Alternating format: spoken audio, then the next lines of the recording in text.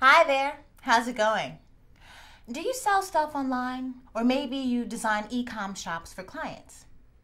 A beautiful online store inspires trust and can create the illusion of a big brand. So, the images on your website need to be stunning. In this video, we're going to talk about taking product photos to the next level. Dig it? With a physical store location, you can see items up close and turn them over in your hands. Being able to examine them made you buy it. Online, you're not able to hold the product in your hands or smell the pastry. okay, we've got that out of the way. So let's get to the nitty gritty. Photos should be crisp and clear, perfectly in focus and with no shadows obscuring the product. Take photos against a solid backdrop, alone, and close up. Easily create a studio in your home or workspace with five simple steps. Find an open area, preferably in a room with a lot of natural light. Affix a sheet of paper against the wall and the floor, letting it curve against the corner. Don't fold it. The paper could be white, another color, or a pattern. Place the item in the middle of the paper on the floor. Place a lamp on each side of the product. Set up your smartphone or digital camera if you have one on a tripod in front of your new homemade studio. Shoot away!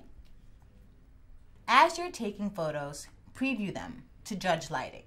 You might notice shadows here and there. Moving the lamps back and forth and side to side will help you prevent them. There are no hard and fast rules here, so you can try lots of different angles and lighting. Zoom in to get photos close up and from several angles. Have fun with it.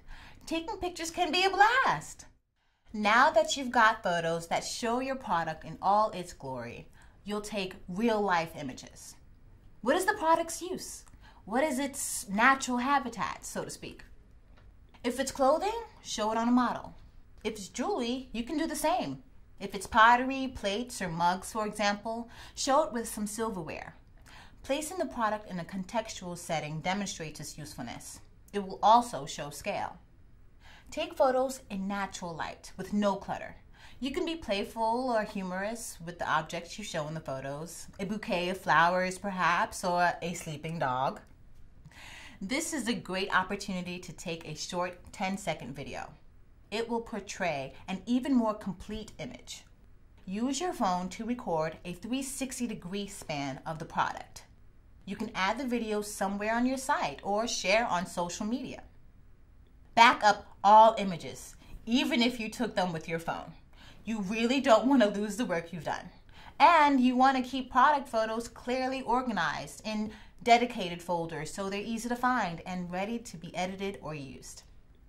It doesn't have to be too difficult. Experiment, practice. The more you practice, the better you'll get. And most of all, have fun.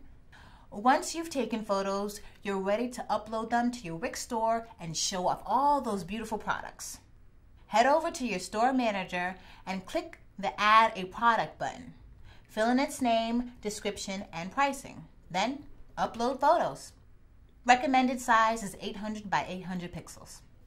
We can't wait to see what you come up with.